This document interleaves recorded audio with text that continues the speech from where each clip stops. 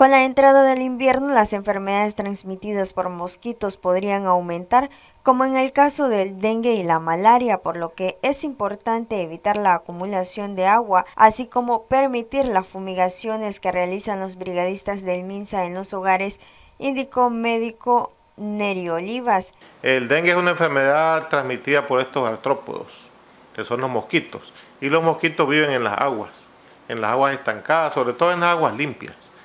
Entonces eh, también vemos que hay acumulación de agua, ya sea que la gente recoge agua de la lluvia o en las zonas donde no hay agua la, recogen agua normal y la mantienen ahí guardada sin taparla, entonces ahí es donde crecen los, los, mosquitos. Y las larvas y después sale el animalito que es el que pica y transmite la enfermedad. La enfermedad del dengue es una enfermedad febril, por lo general es benigna, pero es muy dolorosa, le dicen la fiebre quebrantahueso porque te da dolor en todo el cuerpo con escalofríos, con sudoración y después la fiebre terrible.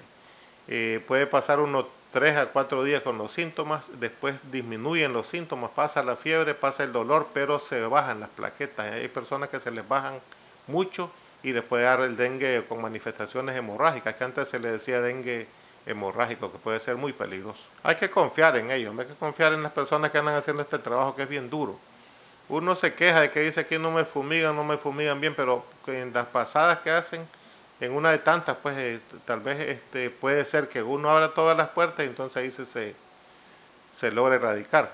Lo otro es que algunos vecinos no abren la puerta o no pueden entrar al predio a fumigarlo, entonces una casa se fumiga, otra no. Pero tenemos que colaborar todos, no solo con la fumigación, sino también con la, con la limpieza del hogar, con vaciar todos los los recipientes que no se están ocupando, que tienen aguas residuales, aguas guardadas. Es importante saber que hay tratamiento, tratamiento sintomático y también tratamiento para los casos graves, porque se puede morir uno si no se trata adecuadamente. Se estima que Nicaragua y Rusia crean una vacuna contra el dengue, por lo que Olivas destacó los beneficios que traería consigo. Con lo de la vacunación se ha estado desarrollando hace mucho tiempo la vacuna y sí existe en Estados Unidos, ya está autorizada incluso para niños. Lo que pasa es que los precios son bastante caros y producirla cuesta muchísimo y entonces también la, accesibilidad pues, para la persona de manera privada sería bien difícil. Por eso es bueno, es bien loable esta actividad del gobierno y de la, en este caso las instituciones rusas que faciliten para nuestro país el acceso a la vacuna.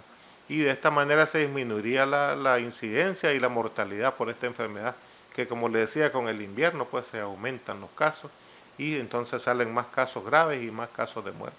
Se estima que la vacuna creada entrará en la fase de ensayos clínicos en un futuro próximo. Noticias 12 Darlene Telles.